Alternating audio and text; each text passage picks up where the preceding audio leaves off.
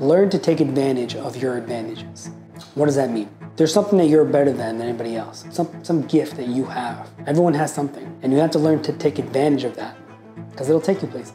Schwarzenegger said he didn't know what he wanted to be, he just wanted to be big. And he knew that bodybuilding would take him there because he was genetically better than everybody else. Take advantage of your advantages. It'll open more doors.